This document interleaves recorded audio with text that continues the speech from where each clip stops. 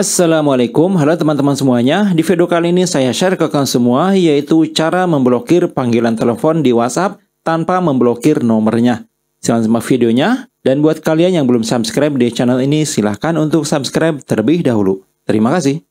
Oke, untuk contoh saya akan memblokir nomor ini ya, dan kita tidak perlu memblokirnya secara permanen. Hanya memblokir panggilan teleponnya saja. Caranya langsung saja kita masuk ke Google Play Store dan download sebuah aplikasi yaitu WA Call Blocker. Aplikasi ini bisa kalian download secara langsung di Google Play Store secara gratis. Sekarang kita buka aplikasinya. Kemudian kita pilih Start. Lalu izinkan untuk aplikasi ini mengakses notifikasi. Ya, di sini kita pilih untuk WA Call Blocker. Lalu izinkan akses notifikasi. Ya, karena saya menggunakan Xiaomi, jadi ada waktu tunggu ya. Ya, berikutnya kita checklist, lalu pilih OK.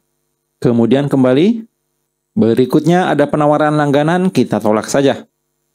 Nah, di sini sekarang kita pilih Custom. Berikutnya pilih Configure the Blacklist, lalu klik icon plus yang ada di bawah. Nah, kita pilih dari kontak ya, Add from Contact. Kemudian di sini sekarang kita pilih untuk kontak yang akan diblokir panggilan WhatsApp-nya. Contoh nomor ini akan saya blokir. Kemudian finish.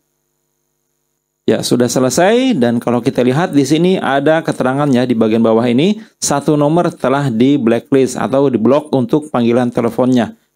Oke, sekarang kita coba untuk melakukan panggilan telepon ke nomor ini. Ya, dan ternyata untuk panggilan tidak masuk ya. Begitu memanggil langsung ditolak. Tetapi sayangnya di sini masih ada keterangan tulisan ditolak. Jadi seolah-olah dia menolak panggilannya. Ya, kita coba sekali lagi. Ya, panggilan otomatis ditolak. Dan ini tentu saja memudahkan kita ketika diteror oleh orang lain ya. Ya teman-teman mungkin singkat saja untuk video kesempatan kali ini. Semoga bermanfaat dan terima kasih banyak sudah menonton. Wassalamualaikum warahmatullahi wabarakatuh.